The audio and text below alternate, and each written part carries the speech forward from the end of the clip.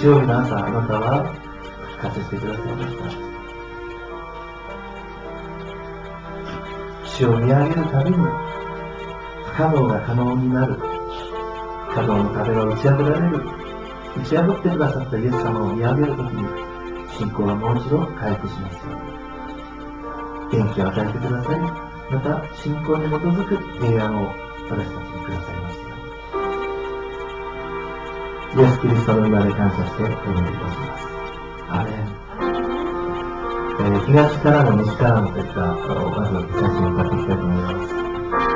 東からも西からも集える神の国に止るものも貧しいものもす。がる神の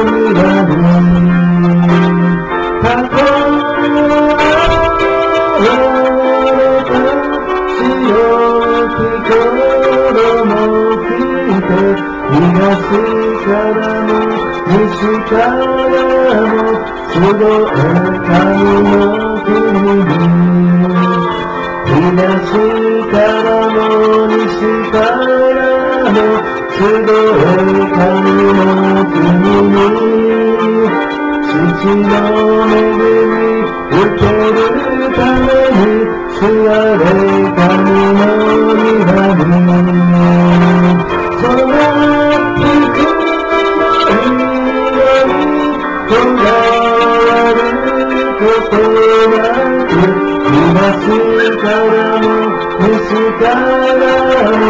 すごい。神の国に東からも西からもすごい神の国に思いをし休みくれて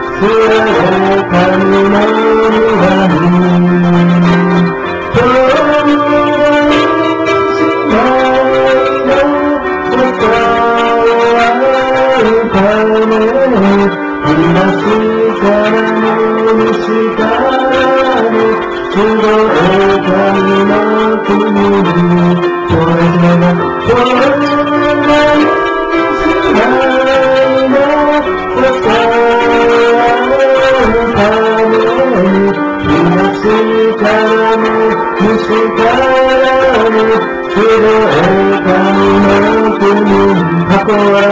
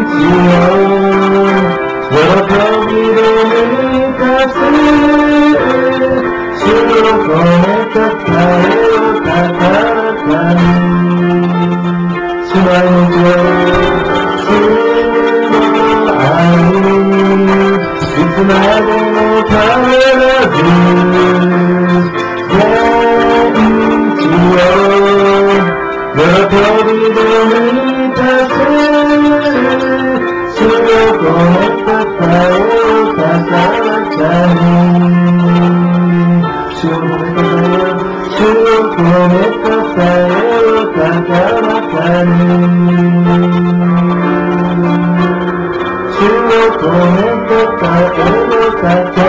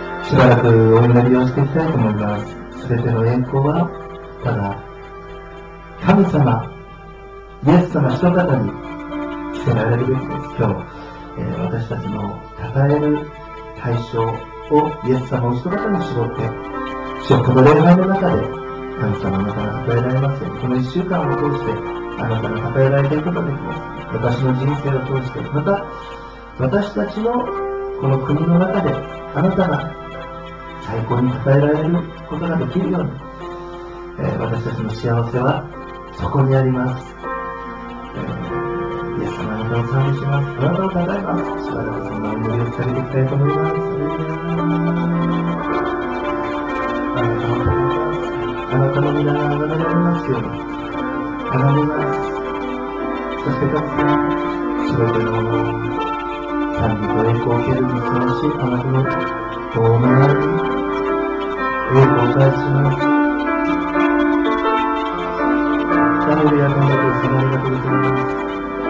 私たちを許し、私たちを洗い清め、私たちを祝福と喜びと平安が溢れさせてください。主イエス様、あなたを栄光返します。ハレルヤ天のお父様ありがとうございます。私たちの心が癒され、喜びであふれ、あなたの人材で、私たちの心が平安になることができますように。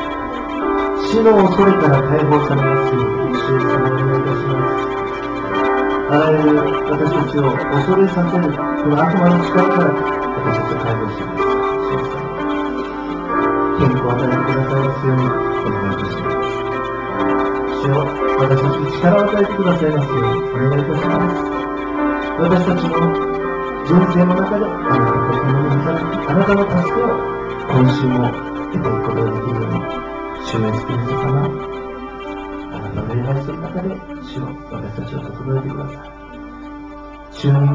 私たちがあなたのことにしっかりと焦点があって、フォーカスが合わされて、私たちの心があなたに向いていることができますように。あなたと共にこの一週間スタートできますように。心からお願いし。イエスキリストの皆で感謝してお呼びいたします。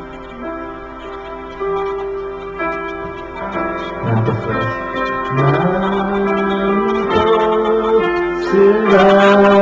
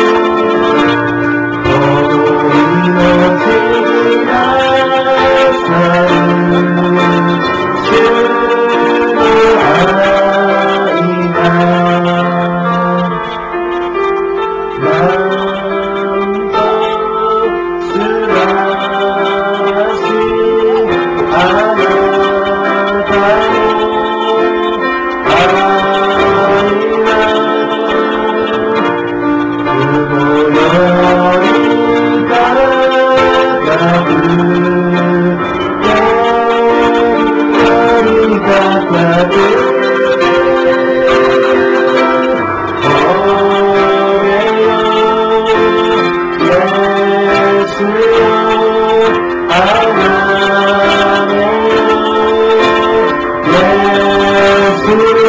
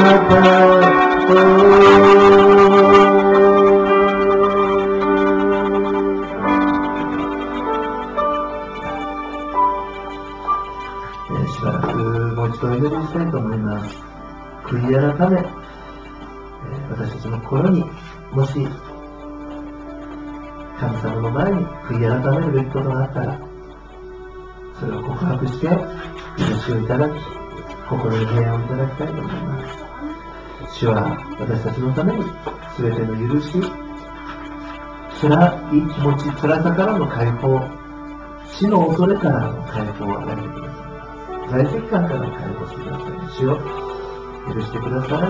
そして、あなたに近づき、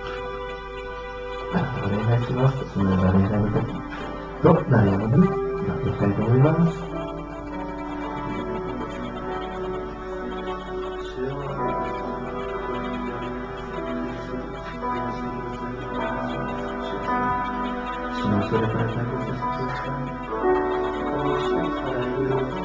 you.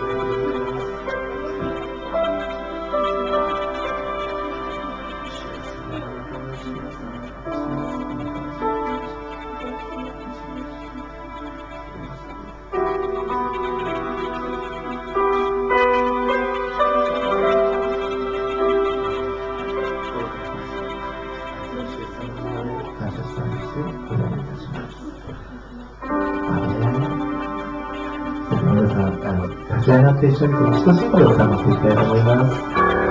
天地を作りし神を信じます一人の私イエスキリスト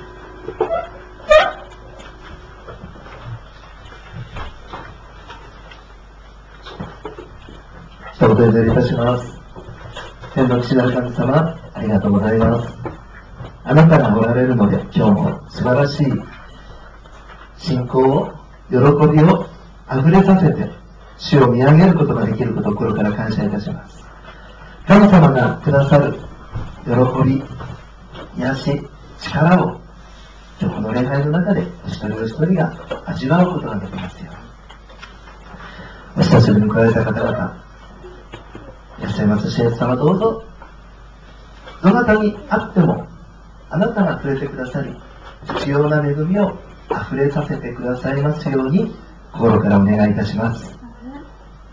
新しい一週間の上に、またこれからの人生の上に主の祝福、限りない恵みが溢れますように。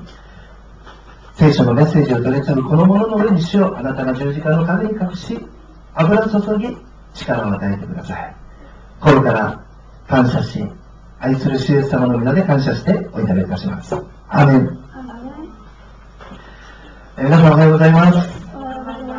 えー一緒に礼拝できることをこれから感謝いたします。えー今日は、まあ、作者のご夫妻もね、来てくださってますし、えー、佐山さんが久しぶりに、えーカナダから、えー帰国されて、えー、久さんも一緒に、えー来られてね、本当に感謝しています。喜びでいっぱいですね。えーまあ、いつも来てくださっている方の中に今日、えーお休みの方、えーまた、えー今日来ようと思ってたね、えー森田さんという方が、ね、いらっしゃったので、ちょっと急遽、息子さんが、えー39度の熱が出てっていうようなね、ことで来れません。えーまあ、おそらくインフルエンザかもしれません。私の妹の家族もですね、ちょっと今日は、えー、そういう、えー、風邪をひいたようで、えー、皆さんがですね、えー、それぞれいろんな状況の中でね、今日ここへ来れたというのは、えー、偶然ではないしね、来たいと思っても来れない人がいる。えー、そして、思いがけず来れた。えー、それはですね、神様が呼んでくださって、神様がここへ来させてくださった。えー、そう信じます。聖書はこう語ります。2、3人が私の名によって集まるところに、私もその中にいる。目に見えませんけれど、今日ここに神様がおられる。えー、それが聖書の約束です。今日はですね、ご一緒に、ヘブル人への手紙11章から、えー、心の平安を得る秘訣という題でメッセージを分かち合っていきたいと思います。まあ、平安ほど本当の意味で私たちに大切なものはないのではないでしょうか。まあ、どんな状況の中にあってもね、もし心に平安があれば、もうそれだけでね、人生は、えー、もう成功したと言ってもいいのではないかと思うほど、平安を持つっていうのはですね、大変なんですね。ま、何か問題があるとですね、すぐ心が不安になります。恐れます。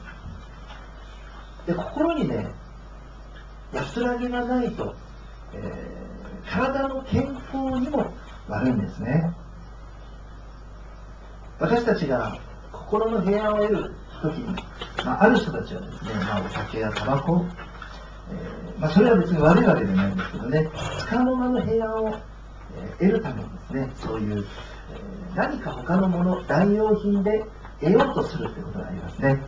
元野球選手の清原さんね、長いこと覚醒剤に依存してたということで、えー、メディアの前で、えー、悲しい、えー、そういう出来事が、えー、報じられてしまいました。子供たちの夢ですからね、野球選手っていうのはね、え、残念だなと思いますけど、え、奥さんに離婚され、そして、えー、子供さんにもなかなか会えない。えスーパースターのような人でもね、心が寂しくて孤独で、えー、平安を持てなかった。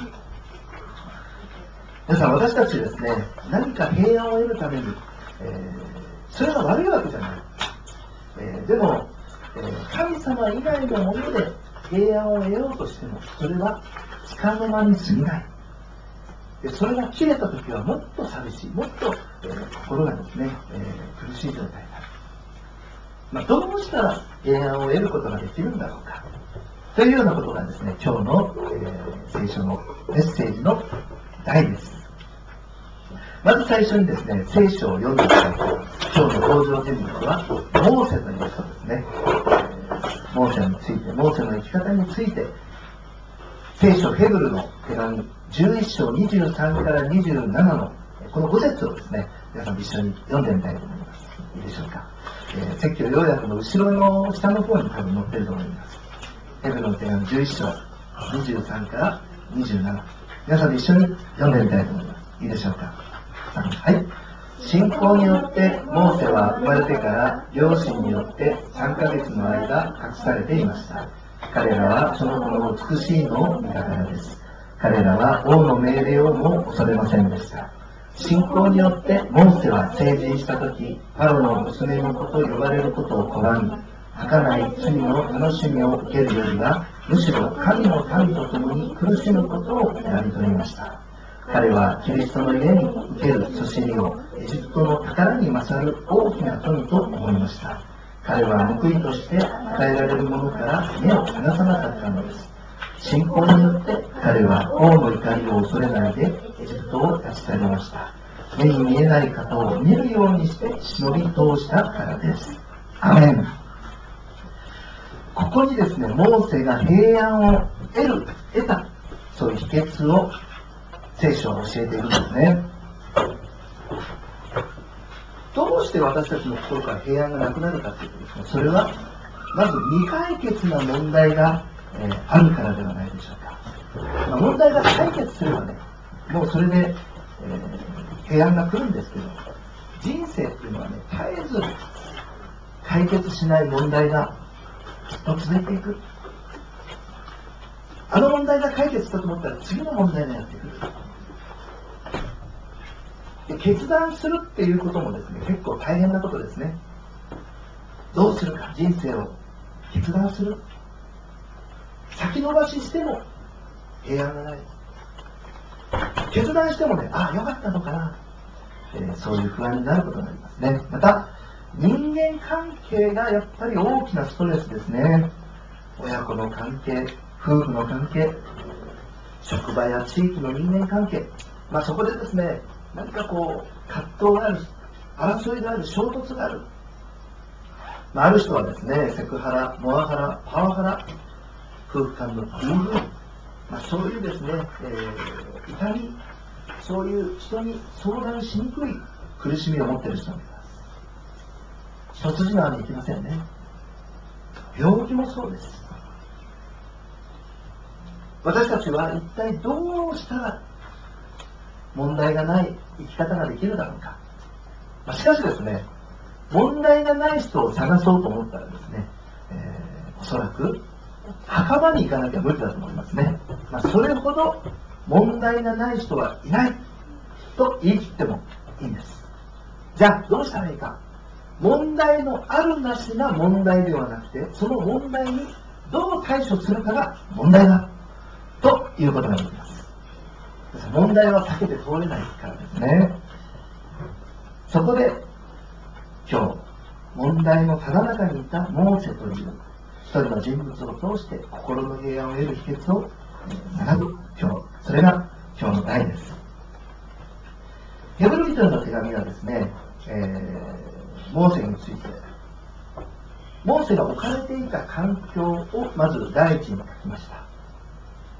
そして続いて2番目にはですね、モーセが心得ていた平安の秘訣、それを2つ目に書かれていました。ですから今日のメッセージのポイントはですね、2つです。1つ目は、モーセが置かれていた環境。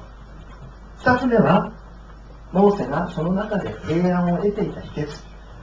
その2つのポイントから学んでいきたいと思います。第1番ね、モーセが置かれていた環境はどんな環境だったか。まずですね、モーセが置かれていた環境は、生まれた時から彼は試練にあっていた。エジプトの王、パローによって殺される運命になった。生まれてくる男子は全部殺せと、そのように命じられていた時代です。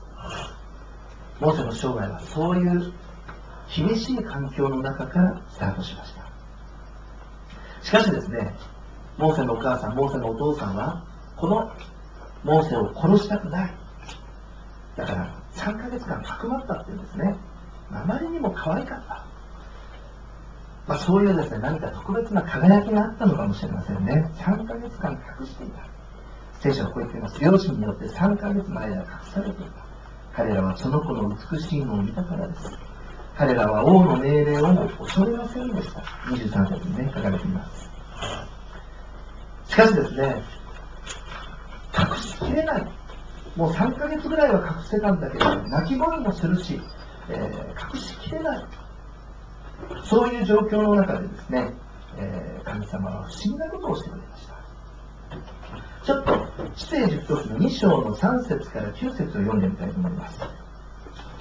これ、モーセのことですよね。しかしもう隠しきれなくなったので、パピルス製の株を手に入れ、それに劣勢と樹脂とを塗って、その子を中に入れ、ナイルの岸の、えー、足の資源の中に置いた。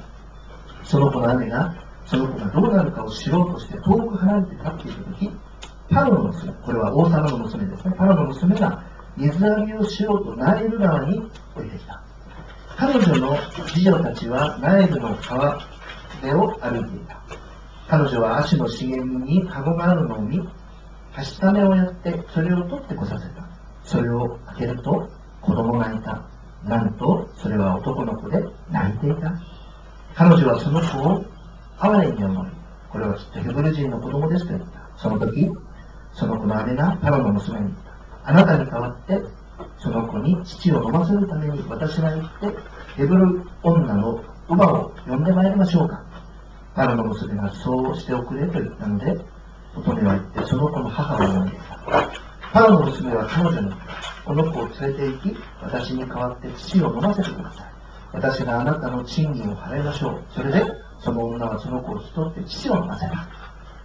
不思議なことが、神様によって殺される運命にあったのに、隠して、で、3ヶ月間後には隠しきれない。しかしそれをですね、王の娘が拾い上げ、なんとですね、お金までもらって、実のお母さんがモーセを育てるという神の守り、あるんですね。皆さん。こういう世界を私たちは信じていきたいものですね。神様は生きています。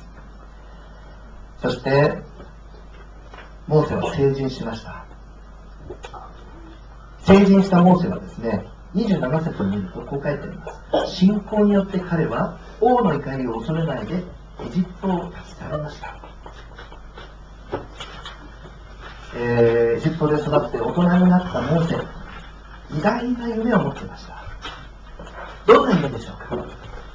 奴隷とされた200万人のユダヤ人、イスラエル人たちを脱出させる。砂漠を通り抜けて神が約束された地と蜜が流れる地カナンというところにですね約束の地英語ではプロミスランド。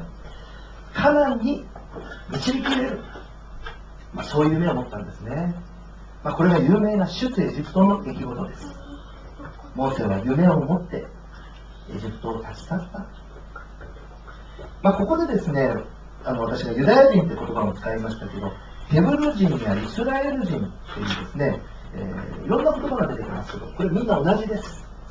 ヘブル人とイスラエル人は同じ民族のことです。ヘブル人っていうのはね、川の向こう、ユーフラテスの向こうから渡ってきた。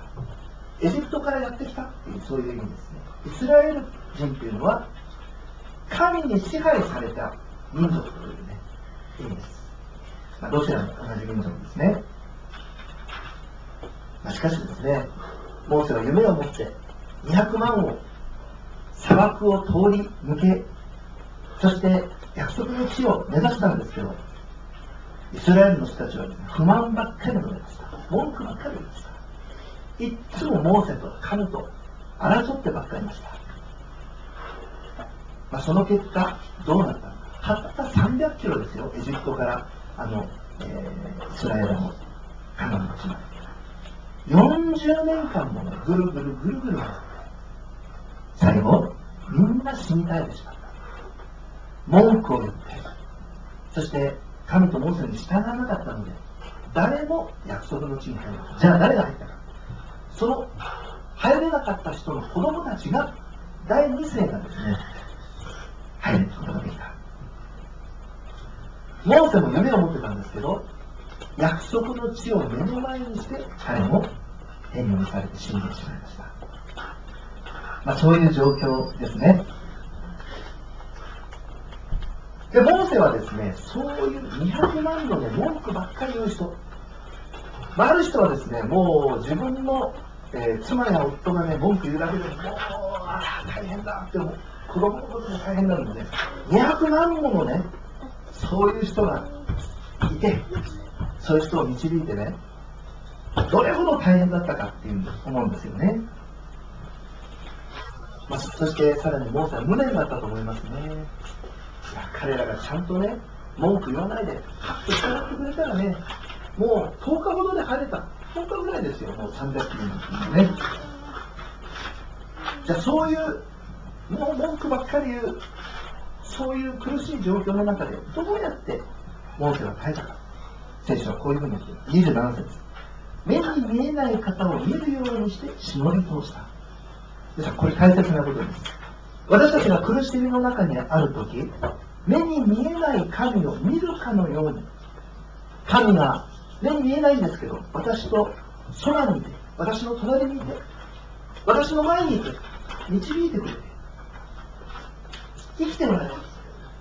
皆さん、信仰の目、心の目で目に見えない神を見えるようにして耐え忍んだ。これがですね、私たちにもできるのではないでしょうか。皆さん、諦めるのは簡単です。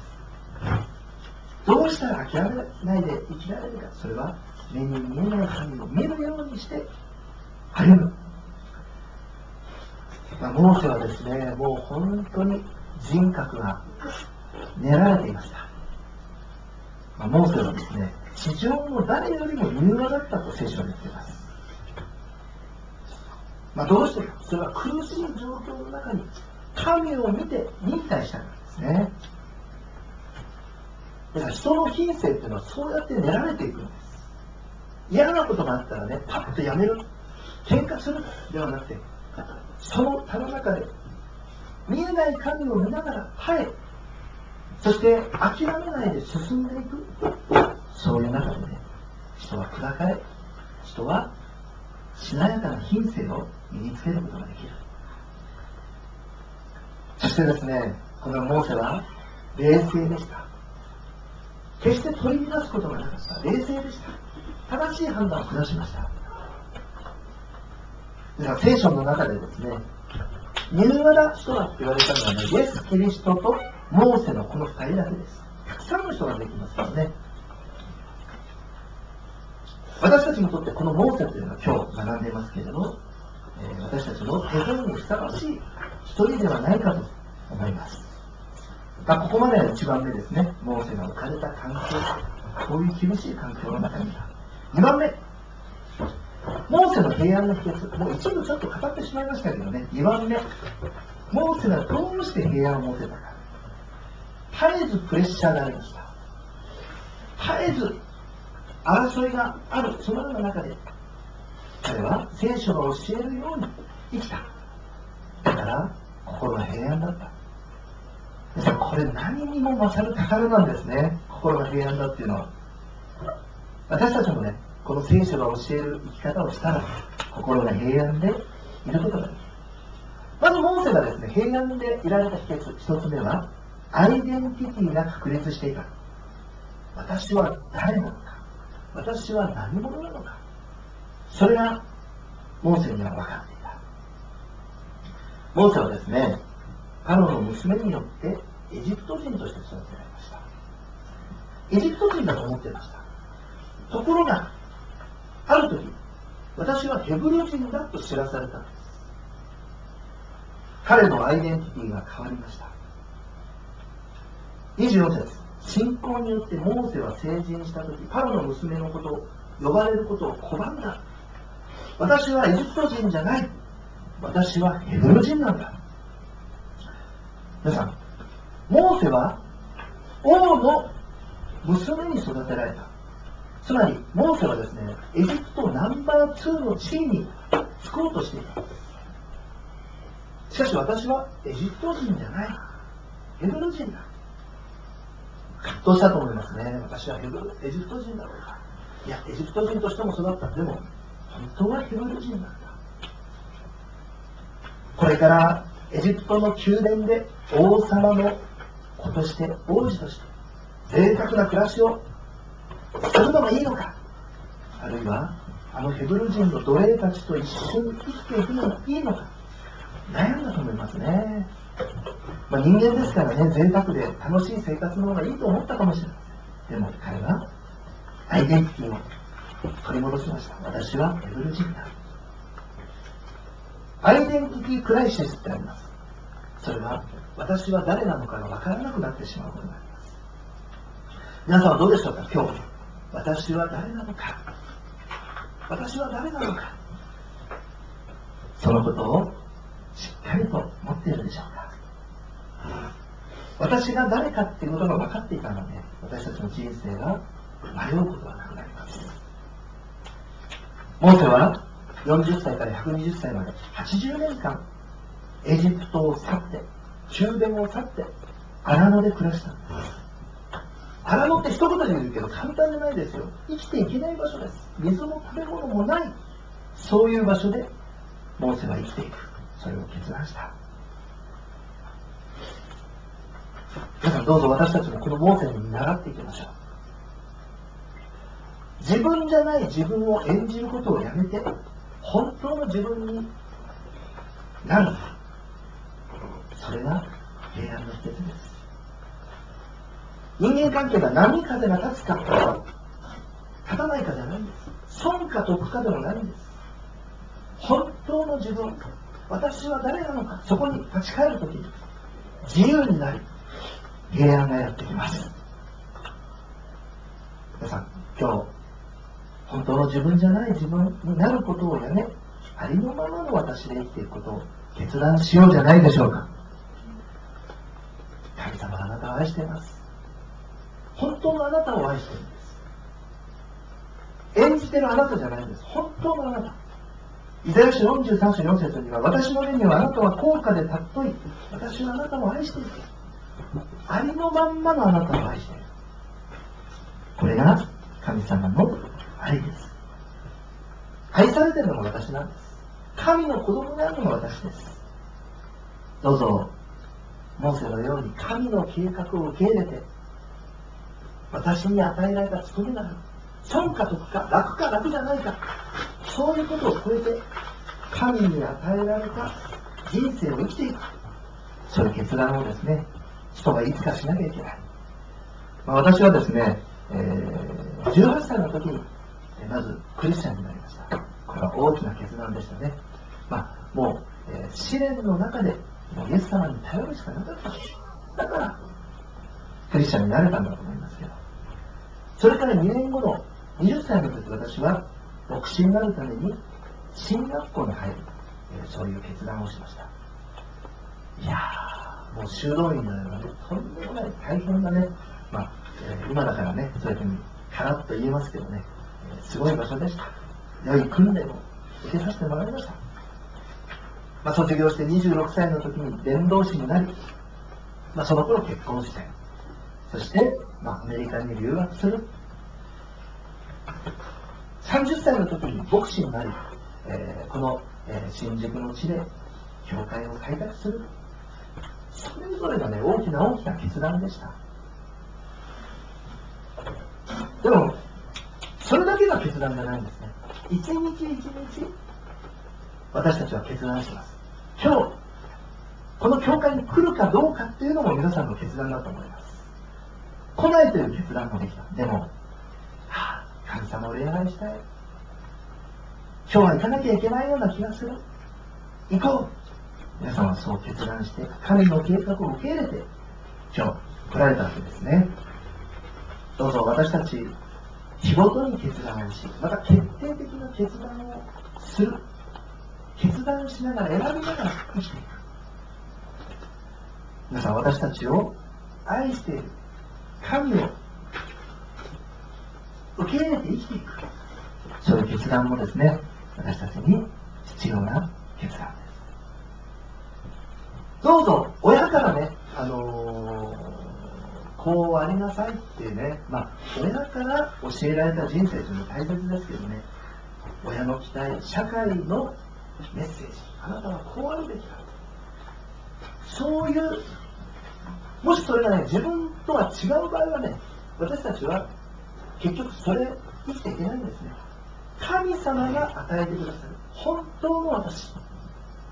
そこに気づいて、そこに生きていく。私はこういう人間なんだ。これが私の人生なんだ。皆さん、人生はどっからでもやり直すことができます。どうぞ新たな決断を今日させていただこうじゃないでしょうか。そこに揺るぎない平安がある。そしてですね、自分が誰かっていうのが分かったら次はですね、責任を負うってことが大切です。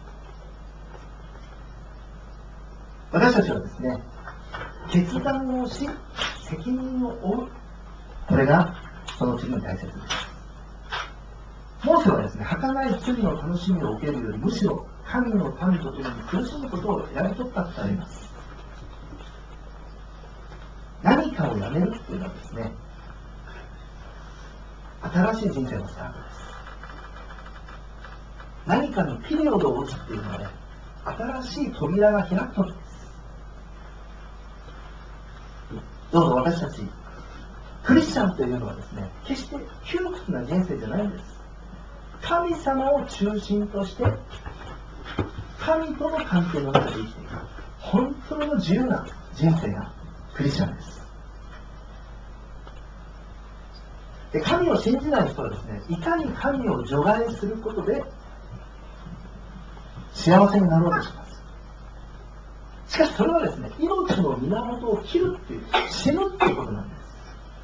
私たちを作った神を中心に受け入れていくとき、本当の自由と平安と喜びがある。私たちはどうぞ神を除外するという、そういう生き方を選択するんじゃなくて、神と共に歩んでいく。そして私たちはその選んだ人生に責任を負っていく。責任を負っていうのはですね、自由に選ぶ、自由意志っていうのはですね、それには責任が伴うんです。選んだことに対しては責任が伴う。どっちを選んでもいいんだけど、選んだら、その選んだことに、えー、責任が負われる。まあ、ある人はですね、人の命令に聞いて、そして、えー、人の部下でいた方が楽だと言うんですね。言われたことを、あれしなさい、これしなさい。もう何もしようとしない。言われたことだけだね。そうするとね、自分で責任取らなくていいんですね。いや、だって上司がね、こうしなさいって言ったから、もう余計なことはしない。もう言われたことだけをする。そっちの方が楽。まあそういうことを言う人がいますね。アダムといえばもそうですよね。罪を犯して、蛇がいけなかったんです。妻はそう言いました。エヴァはそう言いました。蛇が食べてごらんって言うから食べたんです、神様。私は悪くありません。アダムもね、妻が私を誘惑したから妻がいけないんです。責任取りません。本当はこう言わなきゃいけなかったんですね。神様、申し訳ありません。誘惑されましたら、私が罪と知りながら、それを犯しました。私の責任です。許してください。皆さん、こう言うべきだったんです。だから神様の前にそう出ていったら、神様は動物を殺し、その血を流して許してくださったのに違いありません。どうぞ私たちは自分で責任を負っていく。もう人のせいにしない。まあ、私の家族がね、クリスチャンになったら、教会来たら、いや、もっと熱心にできるのに。いや、もっと経済的に豊かになったらね、献金ももっとできるのに。仕事が忙しくなかったら日曜に礼を取れるのに。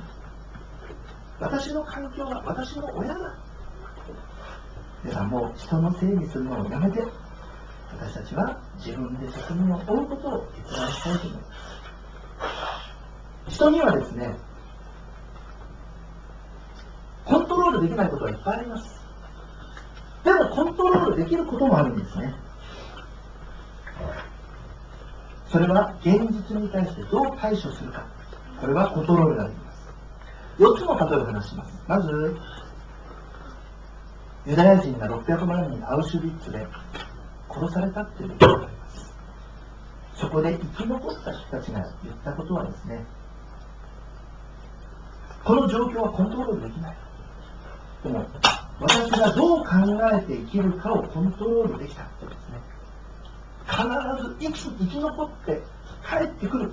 そう信じて、生き抜いて、私は失望しないで諦めないで生き抜いてくることができた。北朝鮮の強制収容所に入れられて出てきた人たちも同じようなことを言ってるのを聞いたことがあります。そして3つ目は、昔、もう数年前ですけど、チリの、えー、炭鉱で落盤事故が起こって生き埋めになった人々がいましたね。その人たちも希望を持って必ず生きて出たい。諦めないでね。この状況は変えられない。でも私の考えは変えられる。希望を持ち続けて出てきた。まあ、そこの出てきたそのものにね、エスペランサ希望っていう名前が付けられた。中国で伝道して迫害され、牢屋に入れられた宣教師たちも神を信じて殺されるかもしれない。でも、その状況を変えられなくても、考えを変えることができる。祈ることができた。だからどうぞ皆さんの人生は皆さんが責任者です。どう考えるか皆さんが選ぶことができる。問題のあるなしが問題じゃない。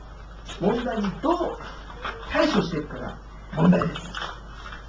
どうぞ自分の意思で選び、自分で責任を取っていく。これが大切ですね。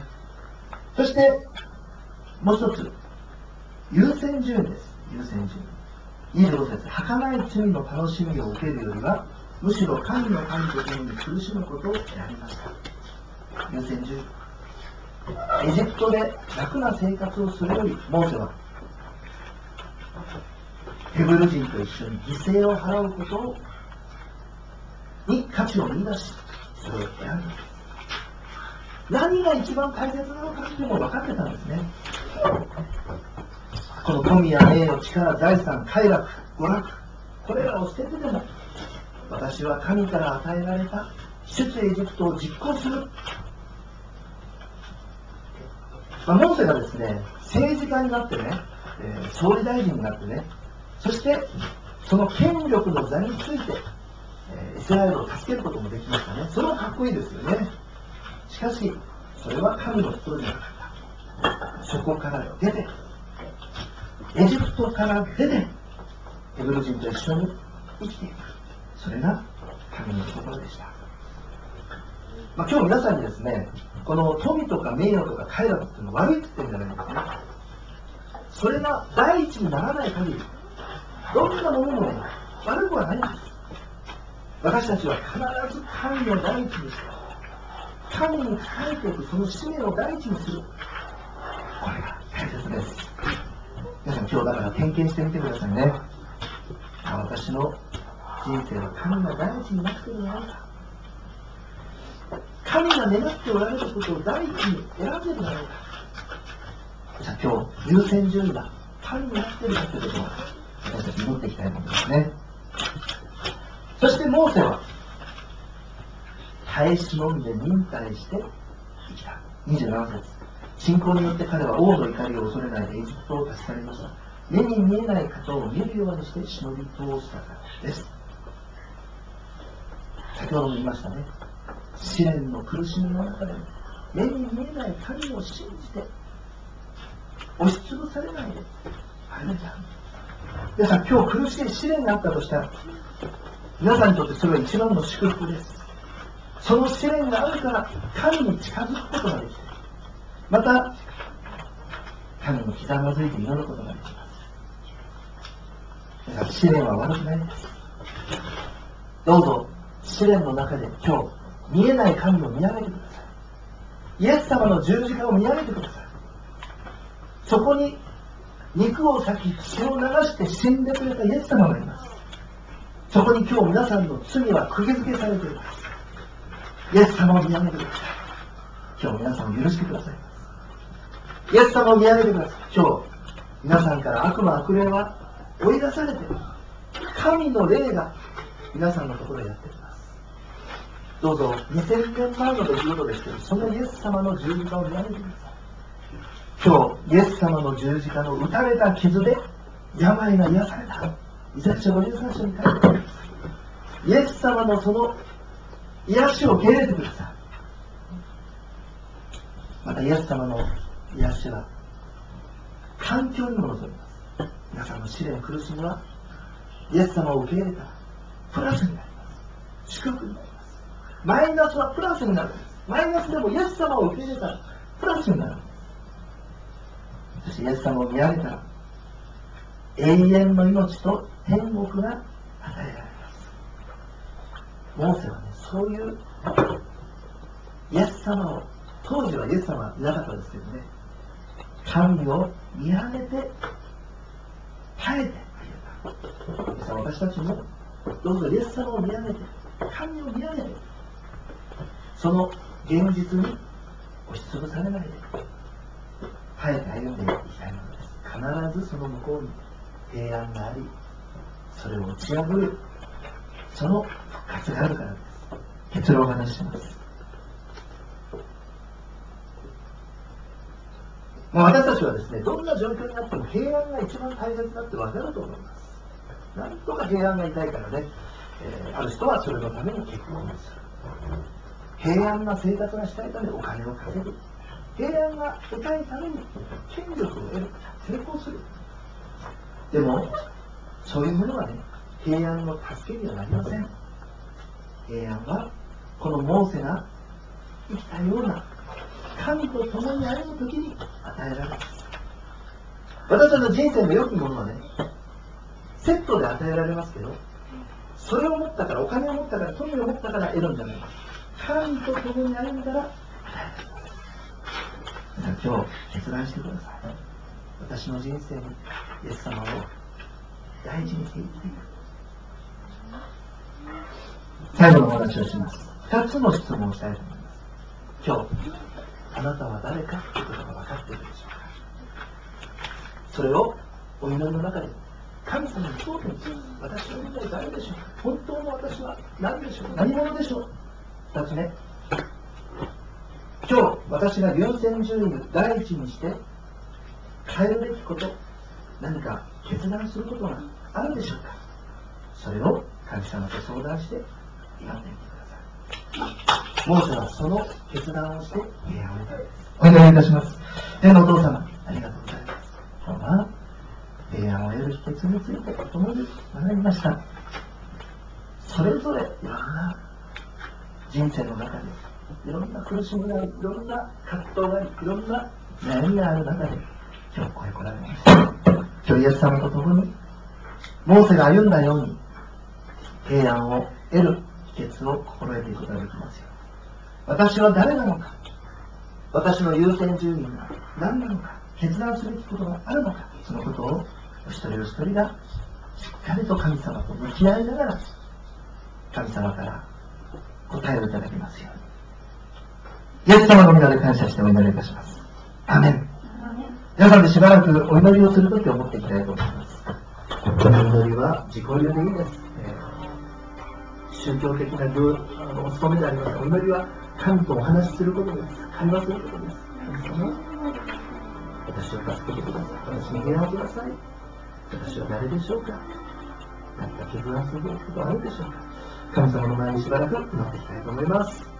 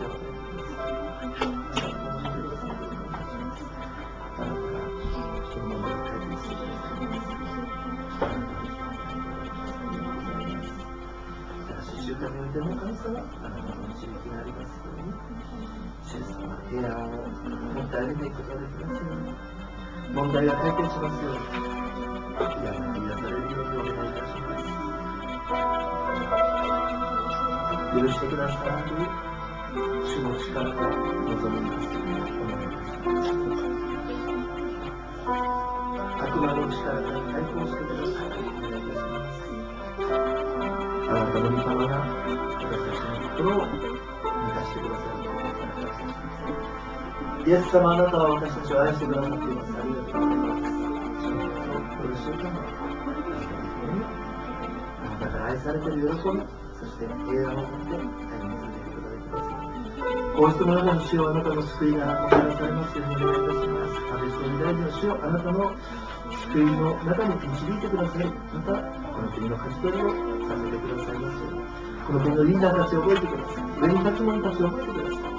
また、も若きも、子供も大人も、おじいちゃんもおばあちゃんも、お父さんもお母さんも、子供たちも、みんな神様、あなたの恵みの中を歩んでいくことができるように、主よこの国の王はあなたです。主イエス様主よ家族が救われるようにお願いいたします。主イエスを卒業されているければ、あなたもあなたの国にも救われるようになります。神様、お願いいたします。家族全員が救われますようにお願いいたします。永遠の命を得ることができますように。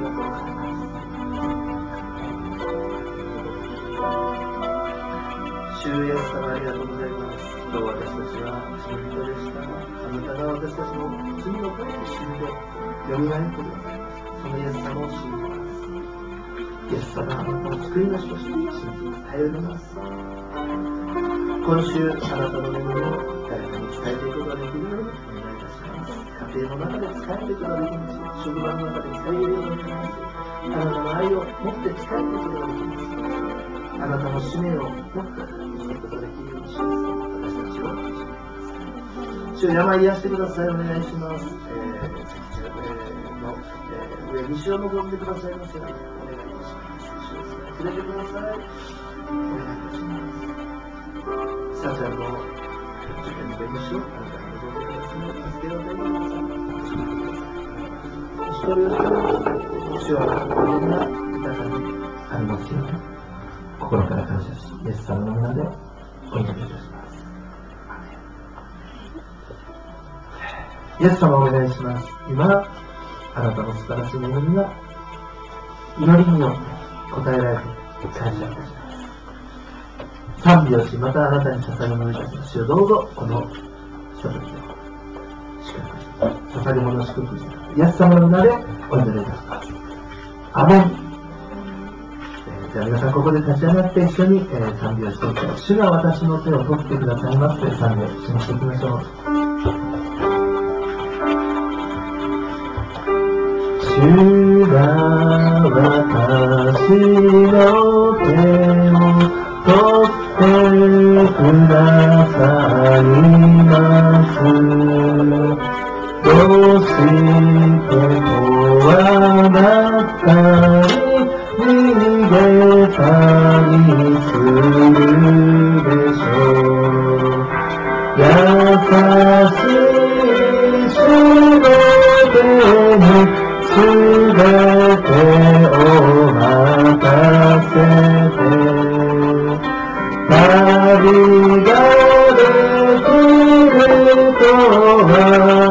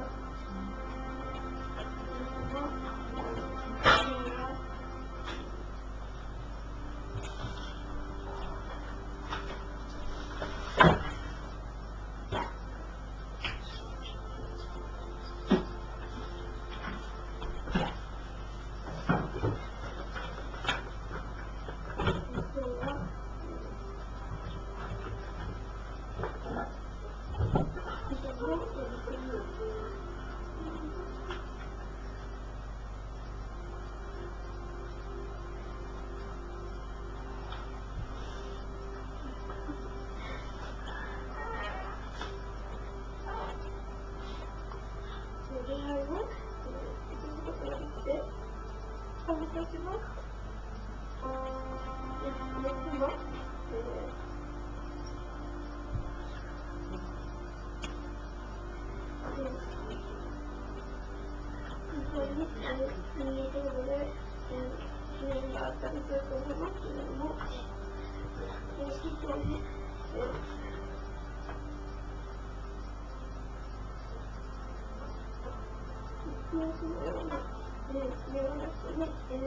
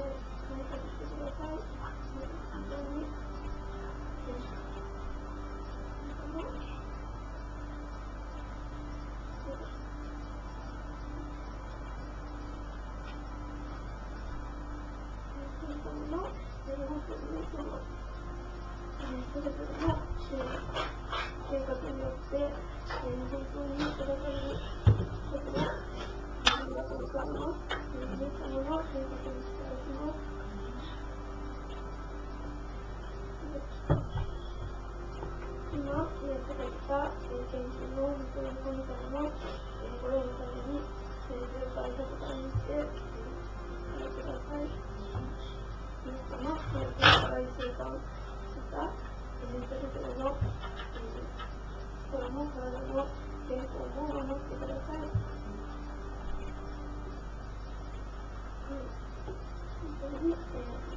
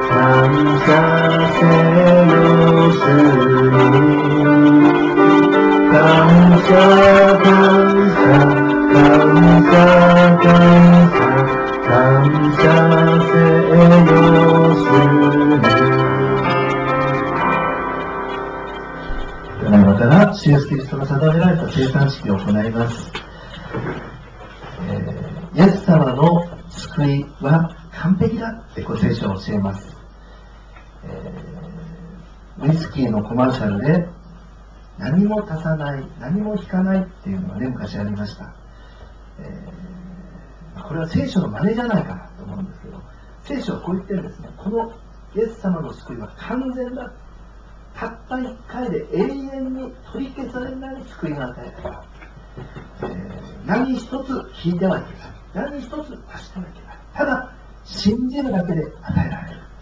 えー信じた人は救われています。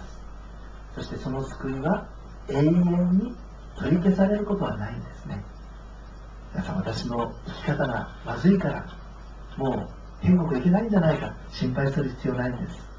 完全な救いをね、信じるだけで与えられる。えー、今日ね、えー、初めて礼拝に来てくださった方も、えもしイエス様を信じます、えそういう心、その小さな、え思いでもあったら今日、えこの生産に、えー預かることは可能です。えそれは一人一人がですね、え信じる心がある人が、え受け取っていただけるものですので、え自由に受け取ってください。そしてこれはイエス様の十字架を思い出すものです。イエス様は十字架で私たちの罪のために肉を裂き血を流して死んでくれましただからああそうだ私のためにイエス様が死んでくれたんだそれを思い出して感謝する信仰を強くするそのための儀式ですので、えー、共に参加していただきたいと思います一言になります恵み深い天の父なる神様御子イエスキリストが十字架の上に死に私たちの贖いとなってくださり感謝いたします願うくは主の慈しみと十字架の苦しみを深く覚えさせてください。今、このパンとブドウ酒を祝し、性別してください。見舞いに砕かれた心を持って、主の肉と血とを受けることにより、救いの恵みが確かであることを覚え、私たちがキリストにあって一つであり、互いに主にある家族であることを覚えて、この交わりをより美し、共に福音の証に生きるものとさせてください。主イエス・キリストの名前により、感謝してお祈りいたします。アメン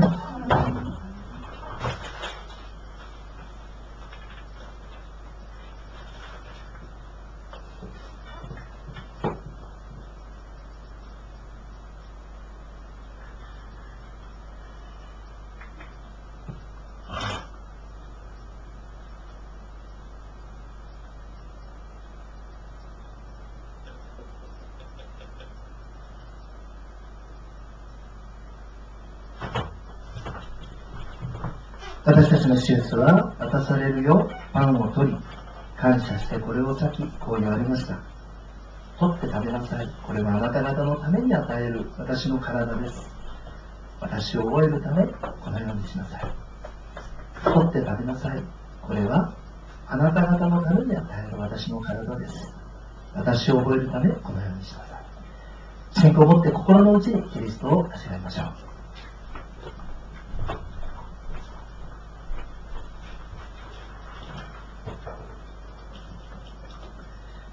私たちの主イエスは同じように杯を取り、感謝を捧げた後言われました。この杯は私の血による新しい契約です。これを飲むために私を覚えなさい。これを飲むために私を覚えなさい。私の血による新しい契約です。契約ですから結ばれた以上は決して取り消されないということです。信仰を持って心の内にキリストを味わいましょう。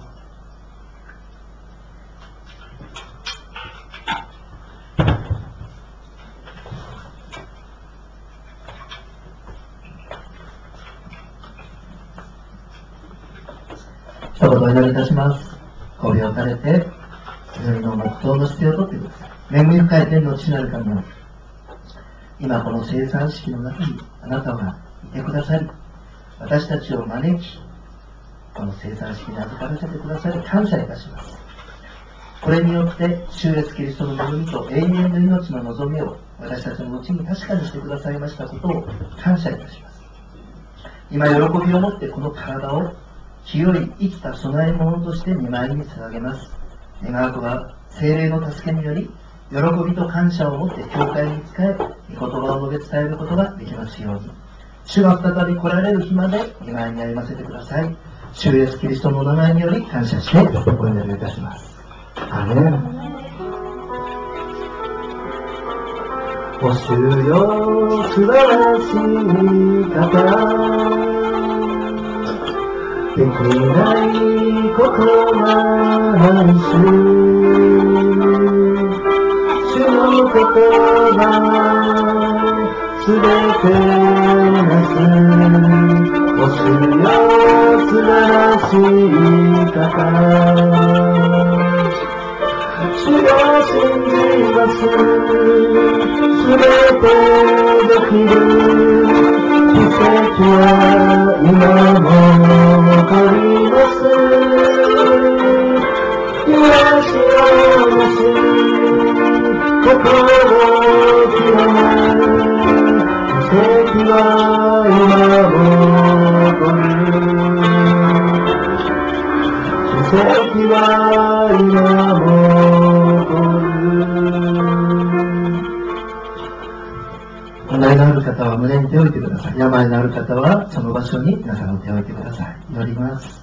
天の父なる神様イエス・キリストは昨日も今日もいつまでも変わることがありません。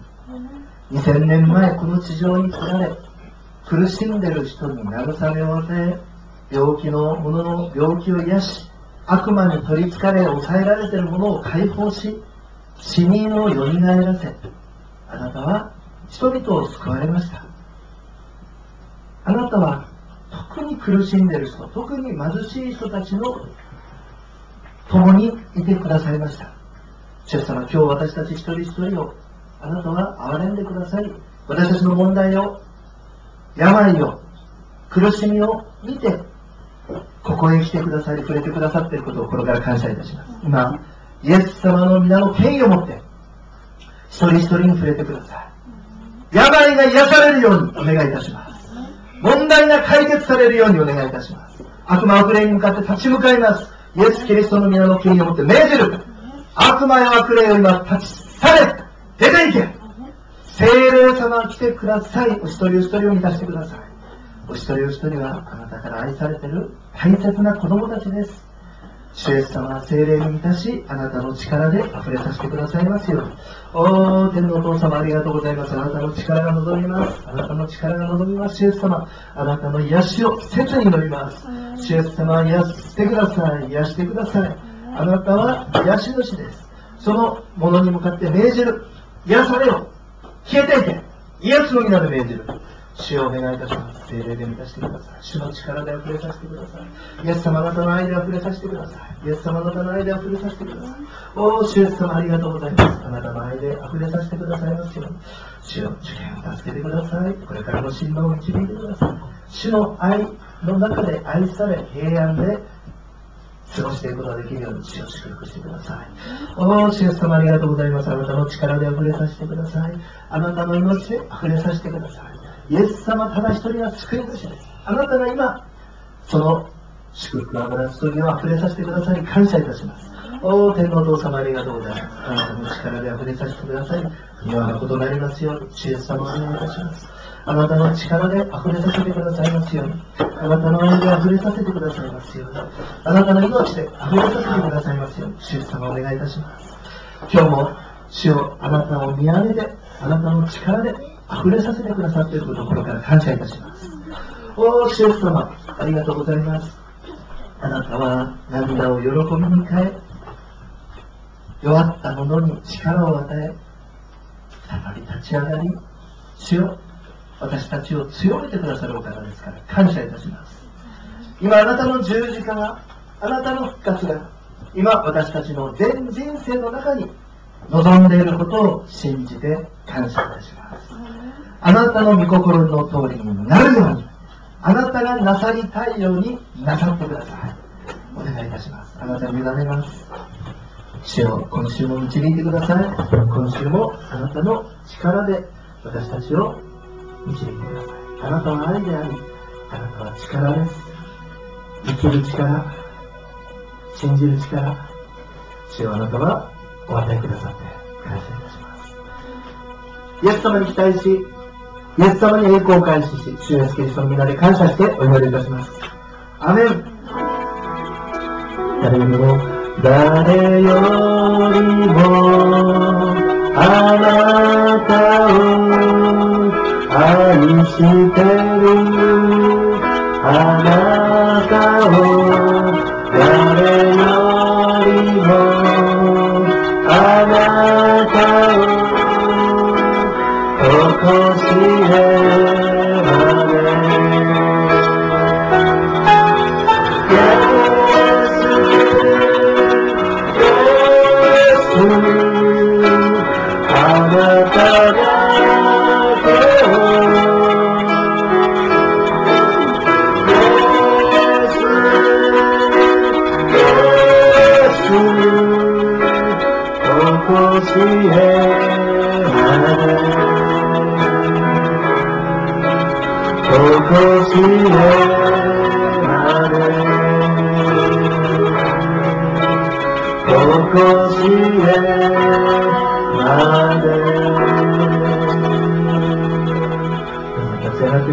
一緒に主の祈りの賛美を持ってお願いとしたいと思います。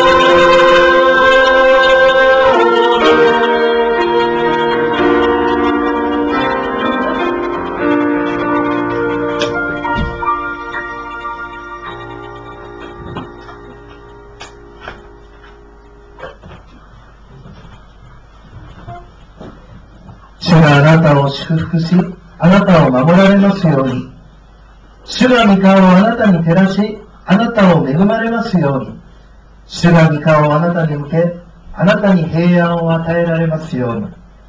青い願うくは、我らの救い主、主イエスキリストの恵み、父なる神の愛、聖霊の親しき御交わりが、集いましたお一人お一人と共に、そのご家族や親族一同の上に、インターネットで礼拝をされた方々と共に、今も後も、世の限りなくあらんことを。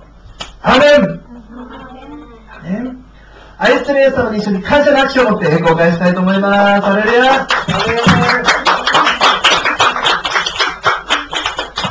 えー、どうぞお座りになってください。これで礼拝の、えー、集会が終わります。えー、この後しばらく、えー、お祈りをしたり、えー、お茶の時間をしたいと思います。ようこそお越しくださいました。